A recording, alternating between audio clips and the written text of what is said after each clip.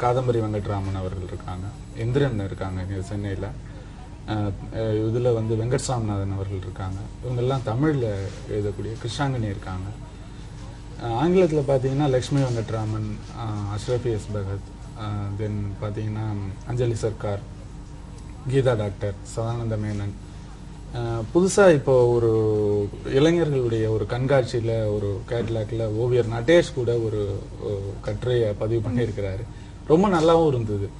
So அது மாதிரி புதிய இளைஞர்களும் இன்றைக்கு எழுதுவதற்கு வந்திருக்கிறாங்கங்கிறது ஒரு ஒரு மிக முக்கியமான விஷயம் இன்னைக்கு சொல்லணும். அதே மாதிரி இப்போ மிக தொடக்க காலத்திலேயே நீ வந்து ஓவியத்திற்கான ஒரு பல்கலைக்கழகம் ஒரு ஓவிய நுண்கலை பல்கலைக்கழகம் அவசியம் என்கிற ஒரு கருத்தை முன்வைத்தவராக உங்களை நாங்கள் பார்க்குறோம். ஆனால் சமீபத்தில் இலங்கையில் வந்து அதே மாதிரி ஓவிய நுண்கலை பல்கலைக்கழகம் ஒன்று தொடங்கப்பட்டிருக்கு. இந்த உணர்வுகளை நீங்கள் எப்படி பார்க்கிறீர்கள்? அதை பதிவு செய்யுங்க. அது ப- பல ஆண்டுகளாக நாங்க வந்து சொல்லிட்டு இருக்கிற விஷயம் வந்து கல்வியினுடைய தரத்தை உயர்த்தணும்னா வெறும் உள்கட்டமைப்பு வசதிகளை செய்து கொடுத்தால் மட்டும் போதாது. நூத்தி ஐம்பது ஆண்டுகளுக்கு மேல பாரம்பரியம் மிக்க ஓவிய கல்லூரி நம்முடைய சென்னை ஓவிய கல்லூரி. அதுடைய பழைய மாணவர் சங்கத்தினுடைய பொருளாளராகவும் நான் இருக்கேன். அப்போ பாத்தீங்கன்னா கும்பகோணத்துல ஒரு ஓவிய கல்லூரி மகாபலிபுரத்துல ஒரு சிற்ப கல்லூரி பல தனியார் கல்லூரிகள் காட்சி தகவல் அஹ், விஷுவல் கம்யூனிகேஷனை வந்து நடத்துகிறாங்க ஆக இதில் வந்து ஒரு ஆறு ஏழு துறைகளை உள்ளடக்கின கல்லூரிகள் மூணு இருக்குது பாரம்பரியம் மிக்க கல்லூரிகள் இதெல்லாம்.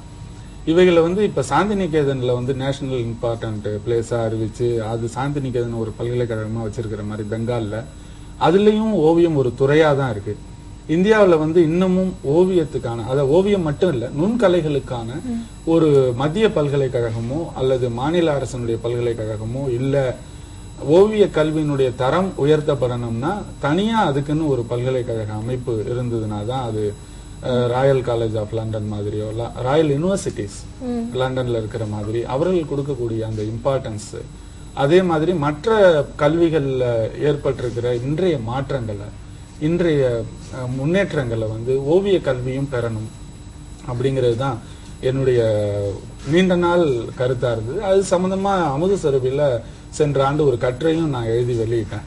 அதுக்கப்புறம் பேராசிரியர் கலை விமர்சகர் சனாதனன் அவர்கள் இலங்கையில இருந்து சென்னைக்கு வந்திருந்த போது வெங்கட்சாமிநாதன் அவர்களோட சேர்ந்து அவரை சந்திக்கிற ஒரு வாய்ப்பு கிடைச்சது. அப்போ அவர் ஒரு தகவலை சொன்னாங்க. அது மாதிரி இந்த ஜனவரியிலேருந்து கொழும்புல இருக்கக்கூடிய அஹ், நுண்கலை கல்லூரியை வந்து பல்கலைக்கழகமாக அங்க இருக்கிற ச- இலங்கை பாராளுமன்றம் சட்டம் போட்டு அறிவிச்சிருக்கிறாங்க. இந்த ஆண்டுல இருந்து அது செயல்பட துவங்குது. தெற்காசியாவிலேயே முதல் நுண்கலை பல்கலைக்கழகம் வந்து இலங்கையில தான் அமைஞ்சிருக்குது. ரொம்ப சந்தோஷமான ஒரு விஷயமா இருந்தது. என்னன்னா எவ்வளவு பிரச்சனைகளுக்கு நடுவுல அந்த நாடு தனக்கான திரும்ப கலை கலாபூர்வமான விஷயங்களை வந்து செறிவுபடுத்துவதற்கு வந்து முனைப்பாக ஈடுபடுறாங்க. ஸோ இந்தியாவில் வந்து இன்னைக்கு தமிழ்நாட்டில் வந்து விளையாட்டுக்குன்னு ஒரு பல்கலைக்கழகத்தை ஒரு கொள்கை முடிவாக அரசாங்கம் எடுத்து அதை இன்னைக்கு செயல்படுத்தியும் இருக்காங்க. விளையாட்டு பல்கலைக்கழகம் இன்னைக்கு தமிழ்நாட்டில் செயல்படுது.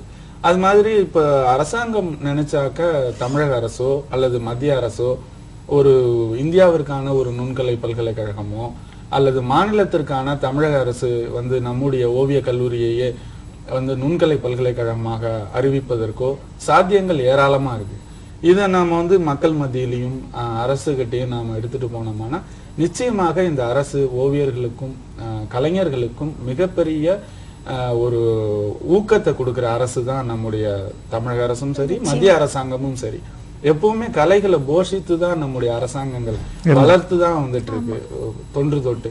அதனால இது சாத்தியம்தான். இது ஒன்றும் நிச்சயமாக இன்னும் சில ஆண்டுகள்ல தமிழக அரசோ மத்திய அரசோ நிச்சயமா அது செய்வாங்கங்கிற ஒரு நம்பிக்கை நிச்சயம் அந்த நம்பிக்கை எங்களுக்கும் இருக்கு சார் இப்போ நீங்க வந்து ஓவியக்கலையில ஒரு ஒரு படி மேல போயிருக்கீங்கன்னு நான் ஆரம்பத்துல இருந்தே சொல்லிட்டு வந்துட்டு இருக்கேன் அது என்ன அப்படின்னு மக்கள் வந்து சொல்ல மாட்டாங்களா அப்படின்னு வெயிட் பண்ணிட்டு இருப்பாங்க அதாவது ஓவியத்தை வந்து நீங்க கணினில அதாவது கம்ப்யூட்டர்ல வந்து நீங்க அதை கொண்டு சேர்த்திருக்கீங்க.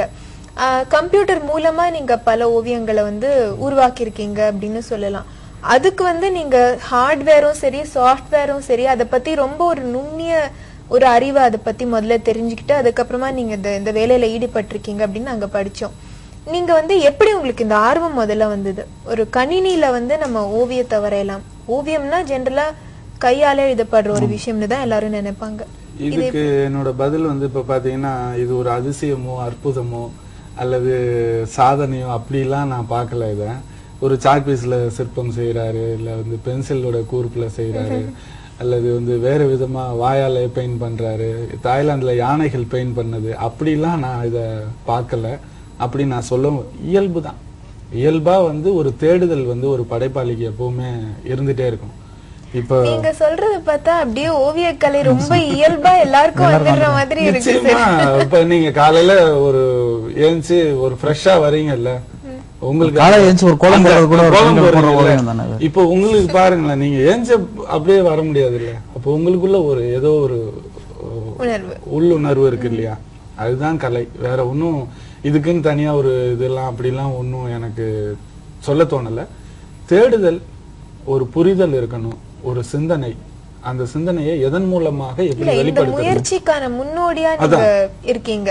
அதான் முக்கியமான என்னுடைய ஆமா இது வந்து இப்ப ஜெமினி ராய் அவர்களுடைய காலத்துல எல்லாம் பாத்தீங்கன்னா பெல்ஜியத்துக்கு இங்க இருந்து ஓவியம் படைக்கப்பட்டு அங்க அனுப்பி கண்ணாடிகளுக்கு நடுவுல அவைகள் இது திரும்பவும் செய்யப்பட்டு இந்தியாவுக்கு இறக்குமதியாகி கண்ணாடி ஓவியங்களாக இங்க இருந்திருக்கு. அது தொழில்நுட்பம் அதான் சிபி ஸ்னோன்னு சொல்லிட்டு அப்போ மிகப்பெரிய ஒரு விவாதம் இந்தியால இருந்தது.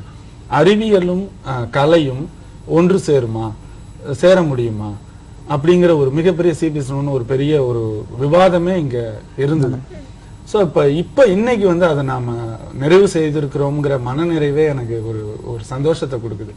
இது இப்படிலாம் பிளான் பண்ணி நம்ம பண்ணல. ஒரு ஊடகம் இப்போ கேன்வாஸ்ல பண்ணிட்டே இருக்கோம். பென்னண்டிங்கில் பண்றோம். வாட்டர் கலரில் பண்றோம். அப்புறம் மிக்சட் மீடியால பண்றோம். பேஸ்டரில் பண்றோம். அது மாதிரி புதுசா வேற ஏதாவது ஒன்று செய்யலாமா? வேற என்னன்னா எனக்கு வாய்ப்பு கிடைச்சது அந்த வாய்ப்புகளை பயன்படுத்தி நான் வந்து டிஜிட்டல் கேமராக்களை கையாள ஆரம்பிச்சேன். அதுலயும் Canon XL one D one X Nikon போன்ற டிஜிட்டல்லையே உயர் தொழில்நுட்ப ரக கேமராக்களை கையாள ஆரம்பிச்சேன். அப்புறம் கொஞ்சம் கொஞ்சமா கம்ப்யூட்டருக்குள்ள வந்தேன். அதுல பயன்பாட்டு மென்பொருள்களை வந்து புரிஞ்சுக்க ஆரம்பிச்சேன். இப்போ மென்பொருள்களை நாமளே எழுதி நமக்கான டூல்களை வடிவமைக்கிற அளவுக்கு நாம முன்னேறிட்டோம். நம்முடைய டூல்களை நாமளே செஞ்சுக்கலாம். ஒரு ஈச்ச மரத்து பாலைய வெட்டி நசுக்கிட்டு கட்டி பெயிண்ட் பண்ற. அது என்னோட டூல் என்னோட பிரஷ் அதே மாதிரி இப்ப நம்ம கம்ப்யூட்டர்ல நம்மளால அத அதே மாதிரி நமக்கான டூலை வடிவமைச்சுக்கிறதுக்கான சுதந்திரம் நமக்கான நிறங்களை தேர்வு செய்வதற்கான சுதந்திரம் காட்சிப்படுத்துவதற்கான மிகப்பெரிய சுதந்திரம்.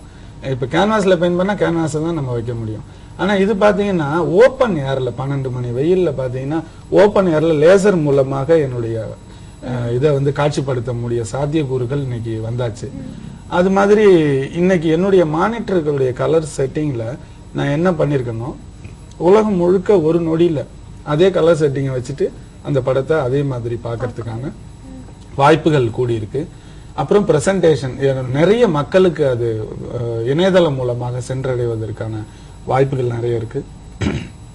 வட்டாரம் வழக்கியாற்றியல் தாண்டி நம்முடைய நேட்டிவிட்டியோட நம்முடைய படைப்புகள் சிந்தனைகள் உலகமெங்கும் அந்த குளோபலைசேஷன்ங்கிறோம் இல்லையா அந்த உலகளாவிய தரத்தோட எல்லாருக்கும் சென்றடைவதற்கான ஒரு மிகப்பெரிய வாய்ப்பை இது இந்த டூல் கொடுக்குதுன்னா ஏன் நாம அதை கையாளக்கூடாது? இப்போ பொதுவாகவே இப்போ அந்த படைப்பாளிகள் வந்து ஒரு கதையோ அல்லது கவிதையோ எழுதுகிற பொழுது இப்போ கணிப்பொறிகள் எழுதுகிற பொழுது ஒரு காகிதத்தில் எழுதக்கூடிய அந்த பர்சனல் இருக்கு இல்லையா? அது வந்து ரொம்ப குறையிறதா சில படைப்பாளிகள் சொல்வதுண்டு.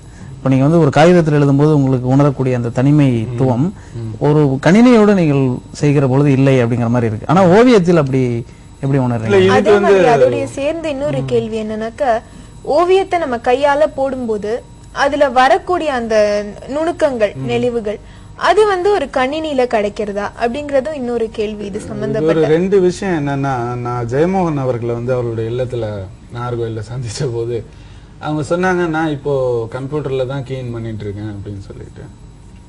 அதனால அவர்களுக்கு எந்த பாதிப்பும் ஏற்பட்டதா தெரியல. எனக்கு சந்தோஷமா தான் பகிர்ந்துக்கிட்டாங்க அந்த விஷயத்த. சுலபமாகவும் இருக்குன்னு சொன்னாங்க. ஆஹ், சிந்தனையினுடைய வேகத்துக்கு ஈடு கொடுக்குற அளவுக்கு அது இருக்கு அப்படிங்கிறதையும் அவங்க சொன்னாங்க. அவங்க இளைஞர். வயதான வெங்கசாமிநாதன் அவர்கள் கணினியை தான் முழுக்க முழுக்க தன்னுடைய கட்டுரைகளுக்கு பயன்படுத்துறத நான் கண்கூடாவே பார்த்திருக்கிறேன். பல எழுத்தாளர்கள்